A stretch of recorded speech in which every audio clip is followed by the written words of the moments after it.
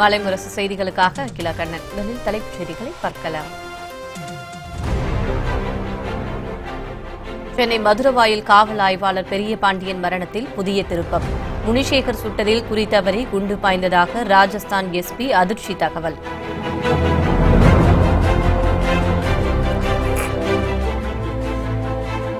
RK நகரில் பணப்பட்டுவாடாவை தடுக்க முடியாமல் அதிகாரிகள் திணறல். அனைத்துக் கட்சி பிரமுகர்களுடன் சிறப்பு தேர்தல் அதிகாரி இன்று ஆலோசனை.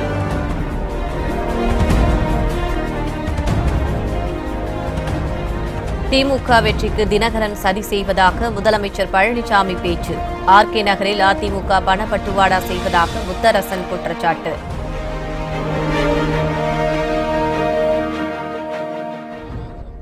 முதலமைச்சர் பழனிசாமி தலைமையில் அமைச்சர்கள் அதிகாரிகள் கூட்டம். மாயமான மீனவர்களை மீட்க மேற்கொண்டு வரும் பணிகள் குறித்து ஆலோசனை.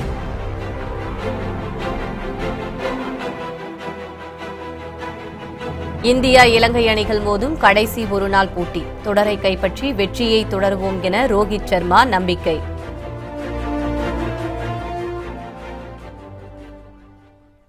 ராஜஸ்தானில் கொள்ளையர்களே பெரிய பாண்டியனை சுட்டதாக கருதப்பட்டு வந்த நிலையில் அவருடைய மரணத்திற்கு காவல் ஆய்வாளர் முனிசேகரின் துப்பாக்கி குண்டு காரணமாக இருக்கலாம் என்ற தகவல் சென்னை காவல்துறையினரிடம் அதிர்ச்சியை ஏற்படுத்தியுள்ளது.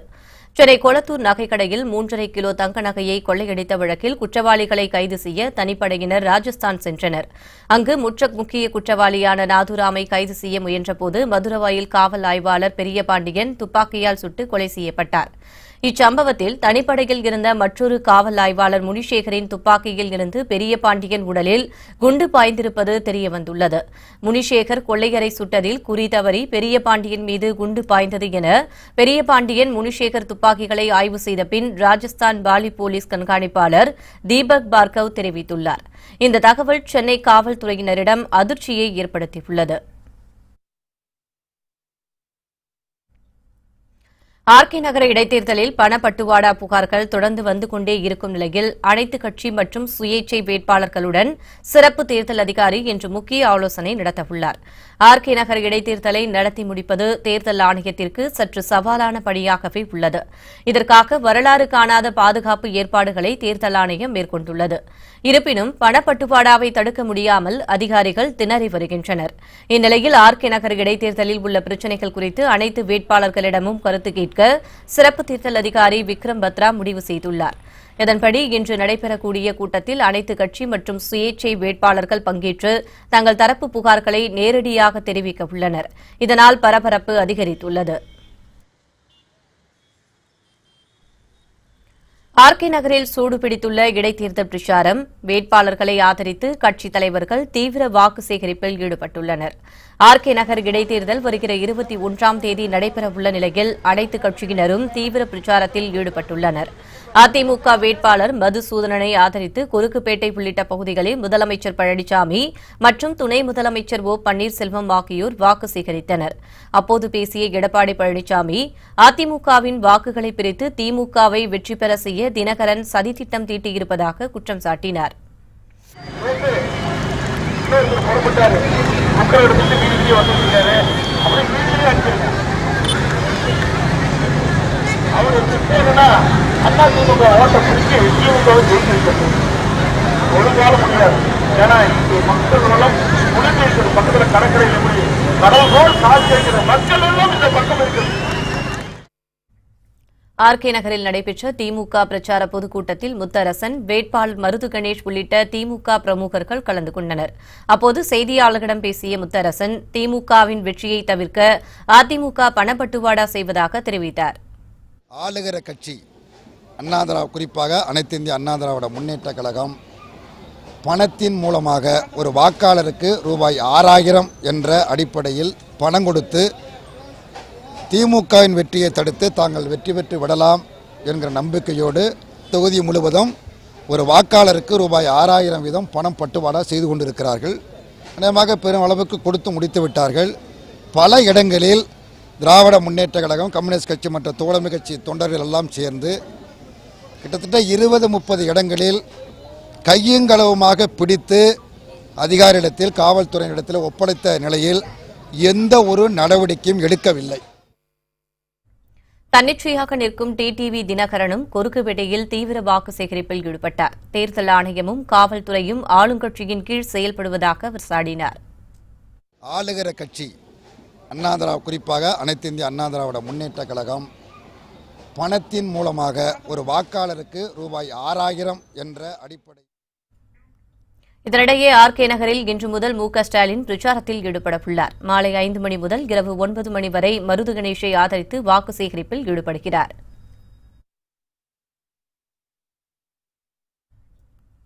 ஒகி புயலால் மாயமான மீனவர்களை மீட்க மேற்கொள்ளப்பட்டிருக்கும் நடவடிக்கைகள் குறித்த ஆலோசனைக் கூட்டம் முதலமைச்சர் எடப்பாடி பழனிசாமி தலைமையில் இன்று நடைபெறுகிறது. ஒகி புயலில் சிக்கி தமிழக மீனவர்கள் பலர் மாயமாகியுள்ளனர். அவர்களை தேடும் பணியில் மத்திய மாநில அரசுகள் அக்கறை காட்டவில்லை என மாயமான மீனவர்களின் குடும்பத்தினர் குற்றம் சாட்டி வருகின்றனர். இந்நிலையில் மீனவர்களை மீட்க மேற்கொள்ளப்பட்டிருக்கும் நடவடிக்கைகள் குறித்து அமைச்சர்கள் மற்றும் உயர் அதிகாரிகளுடன் முதலமைச்சர் எடப்பாடி பழனிசாமி இன்று ஆலோசனை நடத்தவுள்ளாா் காலை பத்தரை மணி அளவில் சென்னை தலைமைச் செயலகத்தில் நடைபெறும் இந்த ஆலோசனைக் கூட்டத்தில் புயல் பாதிப்புகள் குறித்தும் விவாதிக்கப்படவுள்ளது. மேலும் மத்திய அரசிடம் நிதி கோருவது தொடர்பாக முக்கிய முடிவு எடுக்கப்படும் என எதிர்பார்க்கப்படுகிறது.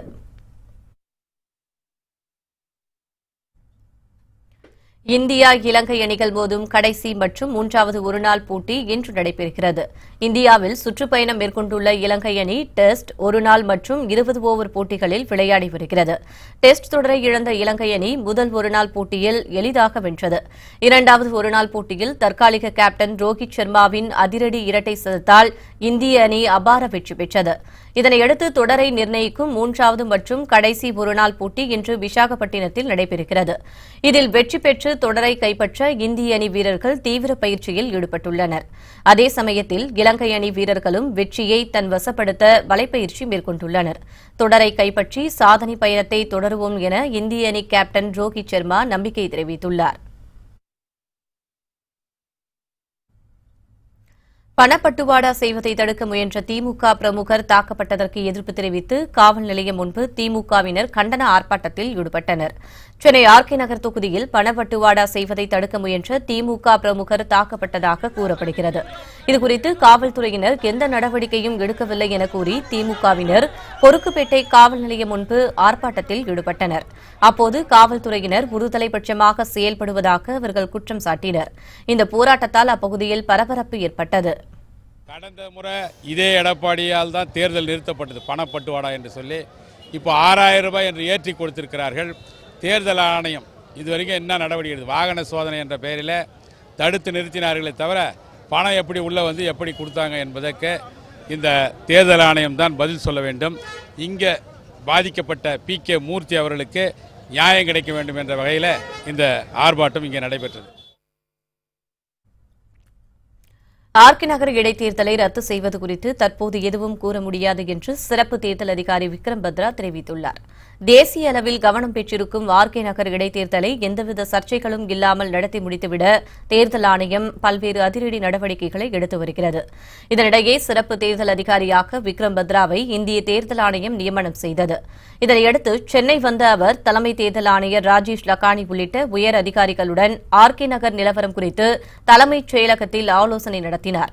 பின்னர் செய்தியாளர்களை சந்தித்த அவர் தேர்தல் தொடர்பாக வந்திருக்கும் புகார்கள் குறித்து நடவடிக்கை எடுக்க போலீசாருக்கு உத்தரவிட்டிருப்பதாக கூறினார். பணப்பட்டுவாடாவை தடுக்க கண்காணிப்பு தீவிரப்படுத்தப்பட்டிருப்பதாக சுட்டிக்காட்டிய விக்ரம் பத்ரா ஆர்கே நகர் இடைத்தேர்தலை ரத்து செய்வது குறித்து தற்போது எதுவும் கூற முடியாது என்று தெரிவித்துள்ளார். தீவிரவாதிகளை அழிப்பதன் மூலம் காஷ்மீர் பிரச்சினைக்கு தீர்வு கிடைத்துவிடாது என்று அம்மாநில முதலமைச்சர் மெஹபூபா முஃப்தி தெரிவித்துள்ளார். இதுகுறித்து கருத்தரங்கு ஒன்றில் பேசிய அவர் காஷ்மீர் பெயரை கேட்டதுமே தீவிரவாதம் துப்பாக்கிச்சூடு கல்வீச்சு போன்ற சம்பவங்களை மக்களுக்கு நினைவுக்கு வரும் என கூறினார்.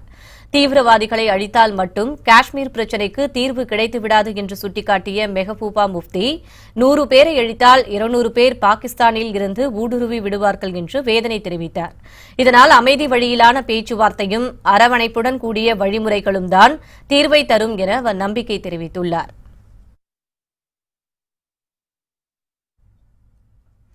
பெண்கள் பாதுகாப்பிற்காக ரயில்களில் சிசிடிவி கேமரா பொருத்தப்படும் என மத்திய அமைச்சர் பியூஷ் கோயல் தெரிவித்துள்ளார். நிர்பயா வன்கொடுமையை அடுத்து நிர்பயா நிதி என்ற பெயரில் மத்திய அரசு நிதி ஒதுக்கீடு செய்துள்ளது. இதனைக் கொண்டு ரயில் நிலையங்களில் சிசிடிவி பொருத்தும் பணி நடைபெற்று வருகிறது. இந்நிலையில் டெல்லியில் செய்தியாளர்களிடம் பேசிய ரயில்வே துறை அமைச்சர் பியூஷ் கோயல் பெண்கள் பாதுகாப்பிற்காக ரயில்களில் சிசிடிவி கேமரா பொருத்தப்படும் என தெரிவித்தார். அனைத்து ரயில் நிலையங்களிலும் சிசிடிவி கேமராக்கள் பொருத்தப்படும் எனவும் ரயில்களில் வைஃபை இணைப்பு கொடுக்கப்படும் என்று கூறிய அவர் இரண்டாயிரத்தி பதினெட்டாம் ஆண்டு பெண்கள் மற்றும் குழந்தைகள் பாதுகாப்பு வருடமாக அமையும் என்றும் தெரிவித்தார். விவசாயிகளின் நலன் கருதி மத்திய அரசு செயல்படுவதாக மத்திய அமைச்சர் அருண்ஜேட்லி தெரிவித்துள்ளார். டெல்லியில் நவார்டு வங்கியின் சார்பில் நடைபெற்ற கருத்தரங்கில் அருண்ஜேட்லி கலந்து கொண்டார். இதில் பேசிய அவர் நாட்டின் பொருளாதாரத்தை இரட்டிப்பாக்க மாற்றுபவர் விவசாயிகள் என்று கூறினார். விவசாயிகளின் பொருளாதாரத்தை இரட்டிப்பாக்க மத்திய அரசு எடுத்து வரும் நடவடிக்கைகளை குறிப்பிட்ட அவர் கிராம பொருளாதாரங்களை உயர்த்த மத்திய அரசு மிகுந்த கவனம் செலுத்தி வருவதாக தெரிவித்தார். விவசாயிகளை முன்னுக்கு கொண்டுவர மத்திய அரசு உறுதி பூண்டுள்ளதாகவும் அருண்ஜேட்லி தெரிவித்தார்.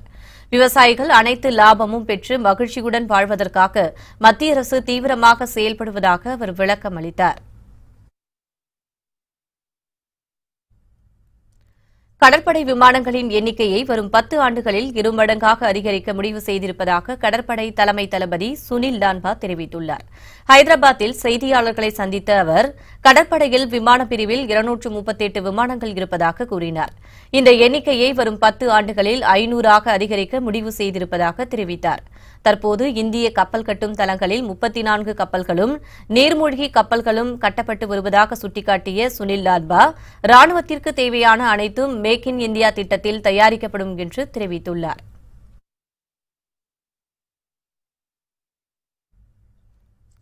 வடகிழக்கு மாநிலங்களின் சாலை மேம்பாட்டு பணிகளுக்காக தொன்னூறாயிரம் கோடி ரூபாய் ஒதுக்கீடு செய்யப்படும் என்று பிரதமர் மோடி அறிவித்துள்ளாா் வடகிழக்கு மாநிலங்களான மிசோரம் மேகாலயா மற்றும் நாகாலாந்திற்கு பிரதமர் மோடி பயணம் மேற்கொண்டார்.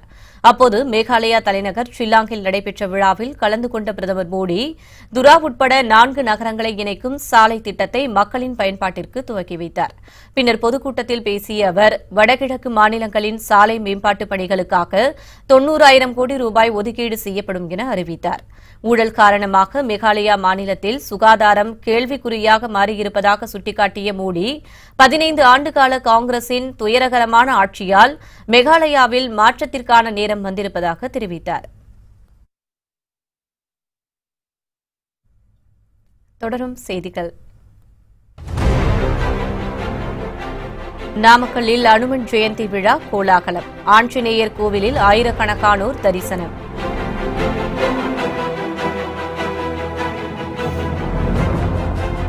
புயலில் சிக்கி பல நாட்களுக்கு பின் ஊர் திரும்பிய மீனவர்கள். நாகையில் குடும்பத்தார் உறவினர் கண்ணீர் மல்க வரவேற்பு.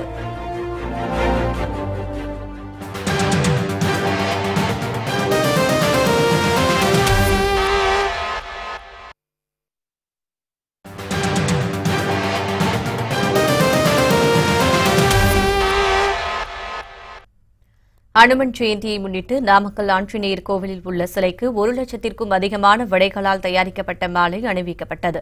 அனுமன் ஜெயந்தியை முன்னிட்டு நாமக்கல்லில் உள்ள பிரசித்தி பெற்ற ஆஞ்சநேயர் கோவிலில் சிறப்பு பூஜைகள் நடைபெற்றன. ஒரு லட்சத்து எட்டு விடைகளால் தயாரிக்கப்பட்ட மாலை ஆஞ்சநேயர் சிலைக்கு அணிவிக்கப்பட்டு தீபாராதனை செய்யப்பட்டது.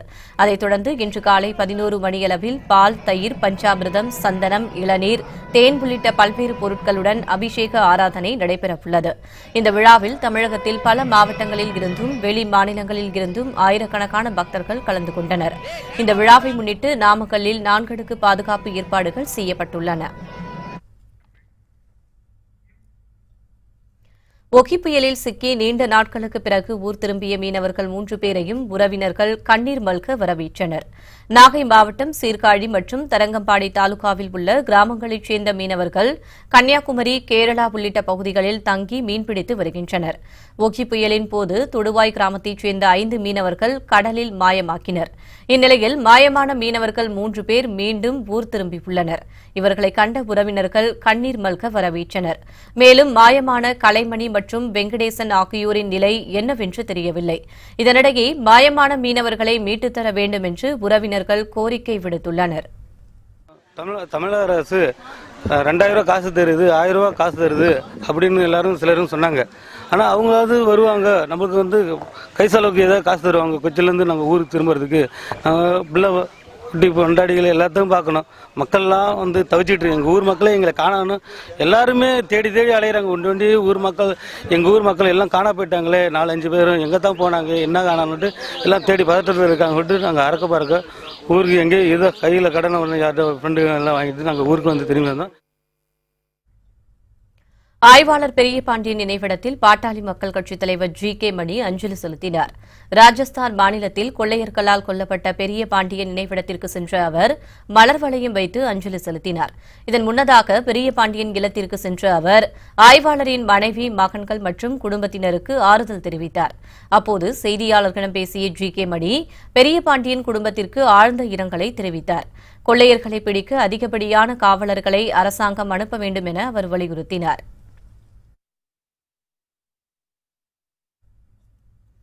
ராமேஸ்வரத்தில் குடியரசுத் தலைவர் வருகையையொட்டி சாலையோர கடைகளை அதிகாரிகள் அகற்ற முற்பட்டதால் வியாபாரிகள் எதிர்ப்பு தெரிவித்து வாக்குவாதத்தில் ஈடுபட்டனர்.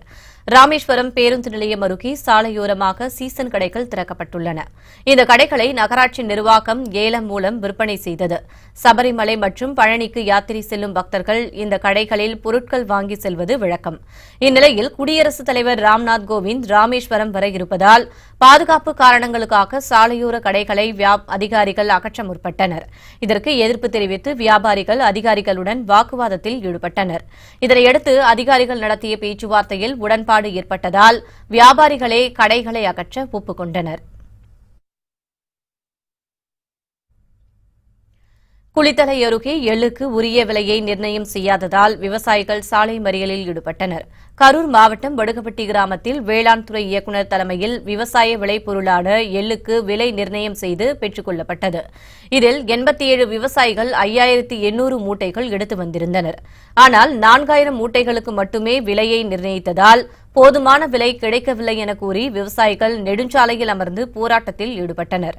இதனால் அப்பகுதியில் போக்குவரத்து கடுமையாக பாதிக்கப்பட்டது.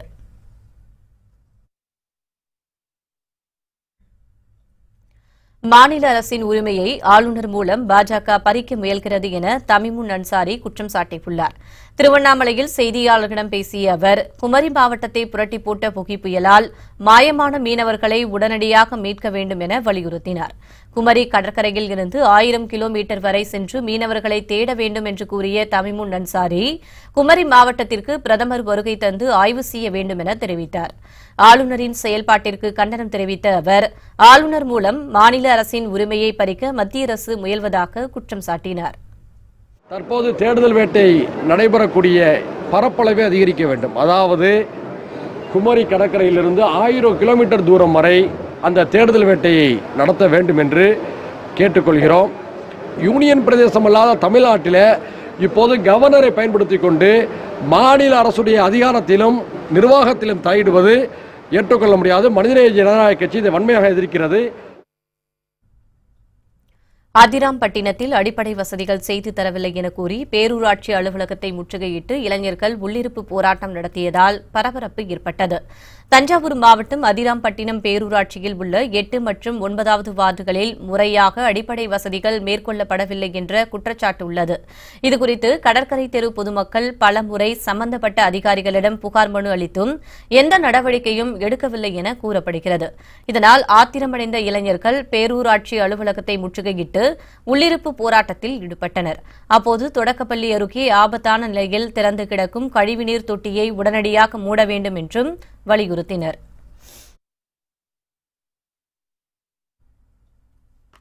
மக்கள் ஆதரவு இல்லாததால் இடைத்தேர்தலை நிறுத்தும் முயற்சியில் பாஜக ஈடுபடக்கூடாது என்று எஸ்டிபிஐ கட்சியின் மாநில தலைவர் தெஹலான் பாகவி விமர்சித்துள்ளார். மதுரையில் செய்தியாளர்களை சந்தித்த அவர் தென் மாநில மக்களின் வசதிக்காக சென்னையில் உச்சநீதிமன்ற கிளையை அமைக்க வேண்டும் என்று வலியுறுத்தினார். ஆர். கே. நகர் தொகுதியில் பணப்பட்டுவாடாவை தடுக்க உரிய நடவடிக்கைகளை மேற்கொள்ள வேண்டும் என சுட்டிக்காட்டிய தெஹலான் பாகவி மக்கள் ஆதரவு இல்லாததால் இடைத்தேர்தலை நிறுத்தும் முயற்சியில் பாஜக ஈடுபடக்கூடாது என விமர்சித்துள்ளார். தென் மாநிலங்களில் இருக்கக்கூடிய மக்கள் பயனடைகிற விதத்தில் உச்சநீதிமன்றத்தினுடைய கிளையை சென்னையில் அமைத்திட வேண்டும் என்று இந்த நிகழ்வின் வாயிலாக நாங்கள் வலியுறுத்தி கேட்டுக்கொள்கிறோம். பொதுவாக ஆர்கே நகர் அல்ல எந்த தேர்தலாக இருந்தாலும் காசு பணங்களை கொடுக்காமல் ஒரு நியாயமான ஒரு ஜனநாயக ரீதியான ஒரு தேர்தல் நடத்தப்பட வேண்டும் என்பதுதான் எங்களது நிலைப்பாடு. அதையும் தாண்டி அந்த முறைகேடு அங்கே நடைபெறுகிறது என்று சொன்னால் அவற்றை எல்லாம் தடுத்து நிறுத்த வேண்டிய பொறுப்பும் கடமையும் அதிகாரம் பெற்றிருக்கிற தேர்தல் ஆணையத்திற்கு இருக்கிறது. அதே நேரத்தில் ஏதாவது ஒரு காரணத்தை சொல்லி தேர்தலை நிறுத்துவதற்கான வழியை தேடுவது என்பது ஏற்றுக்கொள்ள முடியாது. அரியலூர் அருகே பொதுமக்கள் திரண்டு வந்ததால் சாக்குப்பையில் மது பாட்டில்களை வைத்து விற்பனை செய்த நபர்கள் ஓட்டம் பிடித்தனர். அரியலூர் மாவட்டம் செந்துறை ஊராட்சி இலங்கைச்சேரி கிராமத்திற்கு செல்லும் சாலையில் கடந்த மூன்று மாதங்களுக்கு முன்பு டாஸ்மாக் கடை ஒன்று செயல்பட்டு வந்தது. இதற்கு பொதுமக்கள் எதிர்ப்பு தெரிவித்ததால் டாஸ்மாக் கடை மூடப்பட்டது. இந்நிலையில் மூடப்பட்ட டாஸ்மாக் கடையில் சாக்குப்பையில் மது பாட்டில்களை கொண்டு வந்து விற்பனை செய்வதாக பொதுமக்களுக்கு தகவல் கிடைத்துள்ளது. இதனையடுத்து அங்கு பொதுமக்கள் ஒன்று கூடியுள்ளனர். இதனால் அதிர்ச்சியடைந்த விற்பனையாளர்கள் மது பாட்டில்களுடன் ஓட்டம் பிடித்தனர். கல்பாக்கம் அருகே மறைத்து வைக்கப்பட்டிருந்த நான்காயிரத்தி முன்னூற்றி எழுபத்தி ஐந்து லிட்டர் எரிசாராயத்தை பறிமுதல் செய்து காவல்துறையினர் விசாரணை மேற்கொண்டு வருகின்றனர். காஞ்சிபுரம் மாவட்டம் நல்லூர் வனப்பகுதியில் எரிசாராயம் விற்கப்படுவதாக காவல்துறையினருக்கு தகவல் கிடைத்தது. இதனையடுத்து அப்பகுதியில் ஆய்வு மேற்கொண்டதில் எரிசாராயம் விற்பது உறுதியானது. அப்போது மறைத்து வைக்கப்பட்டிருந்த நான்காயிரத்தி முன்னூற்றி எழுபத்தி ஐந்து லிட்டர் எரிசாராயத்தை காவல்துறையினர் பறிமுதல் செய்தனர். இது தொடர்பாக இரண்டு பேரை கைது செய்து காவல்துறையினர் விசாரணை நடத்தி வருகின்றனர்.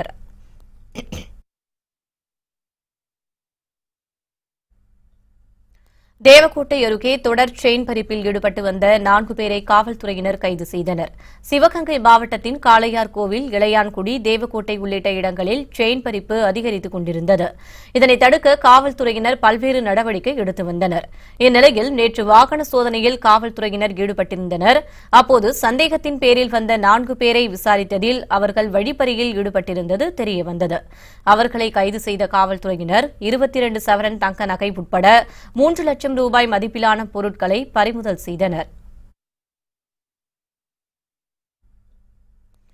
திருவெரும்பூர் அருகே மின்சாரத்தை துண்டிக்காமல் மின்கம்பத்தில் ஏறிய ஊழியர் ஒருவர் மின்சாரம் தாக்கி உயிரிழந்த சம்பவம் பொதுமக்கள் மத்தியில் சோகத்தை ஏற்படுத்தியுள்ளது. திருச்சி மாவட்டம் மணப்பாறையைச் சேர்ந்த தீமையாரின் மகன் சேகர். சர்க்கார் பாளையத்தில் புதிதாக கட்டப்பட்ட தனியார் திருமண மண்டபம் ஒன்றில் மின்சார வேலைகள் பார்ப்பதற்காக சென்றுள்ளார். அங்கு மின்சாரத்தை துண்டிக்காமல் அவர் மின்கம்பத்தில் ஏறி வேலை செய்ததாக கூறப்படுகிறது. அப்போது மின்சாரம் தாக்கியதில் தூக்கி வீசப்பட்ட சேகர் சம்பவ இடத்திலேயே துடிதுடித்து உயிரிழந்தார். இதனையடுத்து சம்பவ இடத்திற்கு விரைந்து சென்ற போலீசார் உடலை கைப்பற்றி வழக்கு பதிவு செய்து விசாரணை நடத்தி வருகின்றனர். தொடரும் செய்திகள். சிலி நாட்டில் நிலச்சரிவில் சிக்கி மூன்று பேர் உயிரிழப்பு. மண்ணில் புதைந்து மாயமான பதினைந்து பேரை தேடும் பணி தீவிரம்.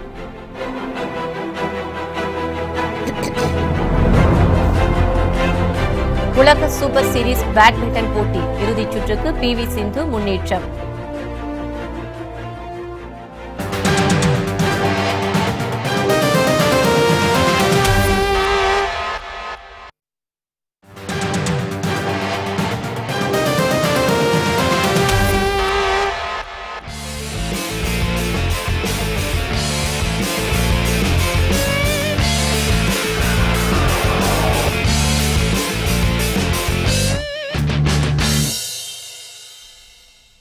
சிலி நாட்டில் ஏற்பட்ட நிலச்சரிவில் சிக்கி மூன்று பேர் உயிரிழந்தனர். மாயமானோரை தேடும் பணியில் மீட்புக் குழுவினர் ஈடுபட்டுள்ளனர். லாஸ் லாகூஸ் நகரில் பெய்த கனமழையால் அருகில் அமைந்துள்ள ஒரு சிறிய கிராமத்தில் வெள்ளப்பெருக்கு ஏற்பட்டு திடீரென நிலச்சரிவு ஏற்பட்டது. இந்த நிலச்சரிவில் சிக்கி மூச்சு திணறி மூன்று பேர் உயிரிழந்தனர். மேலும் மாயமான பதினைந்து பேரை பேரிடர் மீட்புக் குழுவினர் ஹெலிகாப்டர் மூலம் தீவிரமாக தேடி வருகின்றனர். இந்தோனேஷியாவில் ஏற்பட்ட பயங்கர நிலநடுக்கத்தில் சிக்கி உயிரிழந்தோரின் எண்ணிக்கை மூன்றாக உயர்ந்துள்ளது. இந்தோனேஷியாவின் கிழக்கு ஜாவா தீவில் பயங்கர நிலநடுக்கம் ஏற்பட்டது. சுமார் ஒரு நிமிடம் வரை நீடித்த நிலநடுக்கத்தால் கட்டிடங்கள் குலுங்கியதில் பொதுமக்கள் வீதிகளில் தஞ்சமடைந்தனர்.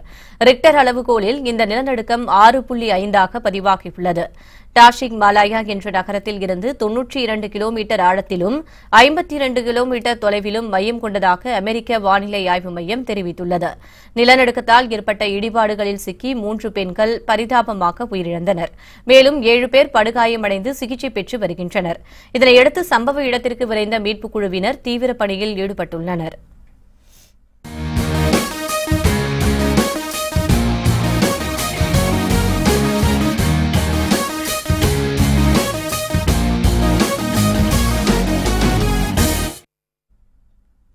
உலக சூப்பர் சீரீஸ் பேட்மிண்டன் ஃபைனல்ஸ் தொடரில் இறுதிப் போட்டிக்கு இந்திய வீராங்கனை பி வி சிந்து முன்னேறியுள்ளார்.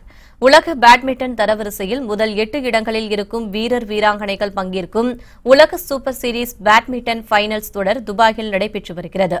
இந்நிலையில் அரையிறுதிப் போட்டியில் இந்திய வீராங்கனை பி வி சிந்து சீன வீராங்கனை சென்ஜூபையை எதிர்கொண்டார். ஆரம்பம் முதலே அபாரமாக விளையாடிய சிந்து இருபத்தி ஒன்றுக்கு பதினைந்து இருபத்தி ஒன்றுக்கு பதினெட்டு என்ற நேர் செட்களில் சீனா வீராங்கனை சென்பு பையை வீழ்த்தி இறுதிப் போட்டிக்கு முன்னேறியுள்ளார்.